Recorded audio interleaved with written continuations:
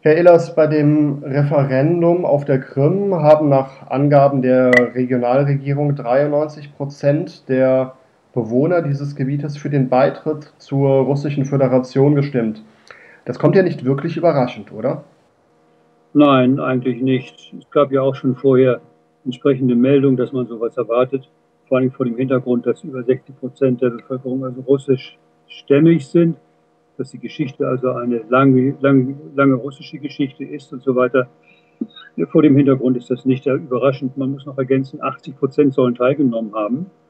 Was bedeutet, 20 Prozent sind zu Hause geblieben. Die haben mit den Füßen abgestimmt gewissermaßen. Das ist auch nicht viel, die dagegen waren. Ne? Mhm.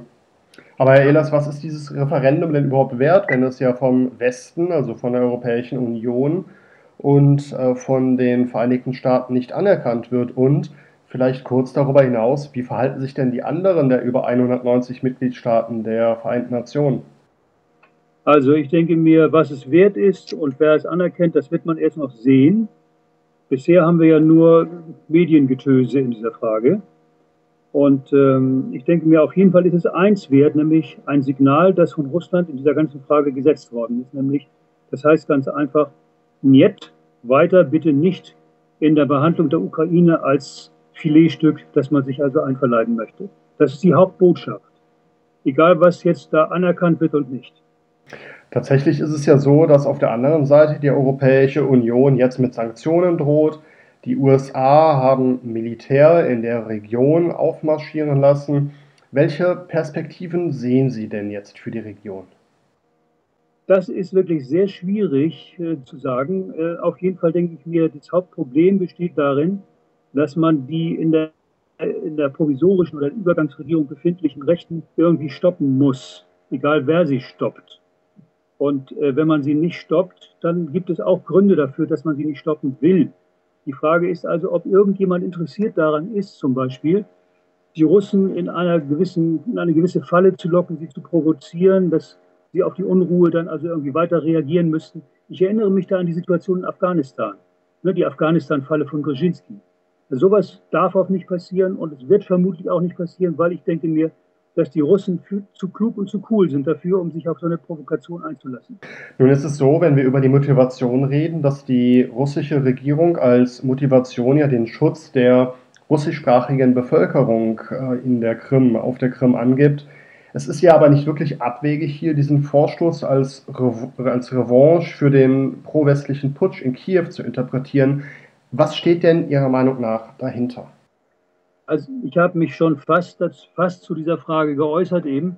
Ich denke es ist einfach klar, wenn man die Geschichte anschaut der letzten 25 Jahre und die Strategie sieht, dass man die Ukraine aus Russland rausbrechen muss, um also äh, über Eurasien also die Oberhoheit zu haben und so weiter, dann ist klar, dass also hier Russland sich gegen ein weiteres Vordringen auf diese Art und Weise wehrt. Russland handelt letztlich aus einer Defensivposition heraus. Das muss man meiner Meinung nach ganz klar sagen. Und äh, das hat mit Revanche nichts zu tun. Das ist einfach ein Versuch, also ein weiteres Vordringen auf diese Art und Weise zu verhindern. Nun hat es ja auch in Deutschland äh, unter Parteien und politischen Lagern in den vergangenen Tagen und Wochen eine Kontroverse um Rechtsradikale bei dieser de facto, in dieser de facto Regierung, in dieser Führung in Kiew gegeben. Die Krim-Regierung und Moskau haben mit einer starken Anti-Nazi-Rhetorik hier Stimmung tatsächlich gegen die de facto Führung in Kiew gemacht. Äh, zugleich wurden aber Rechtskonservative aus der Europäischen Union als Wahlbeobachter eingeladen von der Regionalregierung der Krim und in gewisser Weise auch der russische Nationalismus, als dessen aufgeklärte Form man ja den Putinismus zählen kann. Dort gibt es Antisemitismus und Homophobie. Äh, ja. Ist dieser ganze Diskurs, Herr Ehlers, also nicht widersprüchlich? Ja, das ist natürlich widersprüchlich, aber zum ersten Teil Ihrer Frage muss ich ehrlich gesagt ein bisschen schmunzeln, äh, weil die Einladung von Wahlbeobachtern ist ein bisschen komplizierter. Man hat die OECD versucht einzuladen, die OECD hat aber abgesagt. Äh, daraufhin äh, hat man also von Seiten verschiedenen, sowohl aus der Ukraine als auch von verschiedenen russischen Abgeordneten, sämtliche ähm, erreichbare Partei, Parteien äh, in Westeuropa und so weiter angeschrieben oder angerufen, dass sie doch bitte Beobachter schicken mögen, Aber gemeldet haben sich nur die, die Sie jetzt eben aufgezählt haben, eben die Rechten. Das liegt aber nicht daran, wen man eingeladen hat, sondern es liegt daran, wer gekommen ist. Das ist ein interessanter Punkt. Äh, was, zweiten, was das zweite Ding anbetrifft, ist es klar, also ich bin kein, kein Liebhaber von Putin in dem Sinne, dass ich Putin verteidigen müsste oder Russland über alles stellen müsste gegen, gegen, und gegen jeden Angriff verteidigen müsste. Tatsache ist, dass es selbstverständlich also in diesem ganzen Zusammenhang auch jetzt russischen Nationalismus gibt. Erstens in der Ukraine und zweitens äh, schäumen auch die nationalistischen Wellen in, äh, in, Russland hoch. Da muss man sagen, da muss man es sogar Putin hoch anrechnen, dass er diese Wellen nicht so hochschlagen lässt, wie sie gerne hochschlagen möchten. Das ist der Stand der Dinge. Und ansonsten würde ich die innerrussischen Verhältnisse mit Antisemitismus und dortigen faschistischen Umtrieben und dortigen, äh, was weiß, homophobischen Geschichten und so weiter nicht unbedingt aufrechnen gegen das, was irgendwie in der Ukraine passiert gegenwärtig. Das bringt irgendwie nichts. Hm. Herr Ehlers, kommen wir am Ende zur Perspektive äh, auf der Krim und darüber hinaus.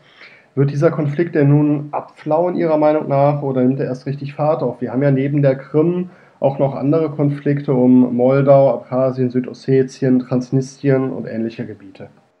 Äh, das ist für mich äh, von zwei Seiten her zu betrachten. Wenn ich es von der russischen Seite her betrachte, würde ich sagen, es gibt für Russland keinerlei Grund, diesen Konflikt auszuweiten.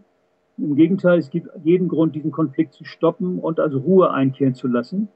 Wenn ich es von der anderen Seite her betrachte, würde ich sagen, die Unruhestifter auf der Seite, die also bisher 25 Jahre lang versucht haben, nach Osten vorzudringen, sind nicht befriedet. Sie werden weiter versuchen, Russland in die Ecke zu drängen, weil sie das brauchen für ihre geostrategischen Interessen, äh, mit dem sie also Russland irgendwie eingemeinden oder unschädlich machen wollen oder wie immer man es sagen will, um freien Raum zu haben gegen ihre, für ihre Asien, China, Asien und Indien-Politik. Das ist der Stand der Dinge. Da wird noch einiges auf uns zukommen. Herr Ehlers, vielen Dank für das Interview. Bitte sehr.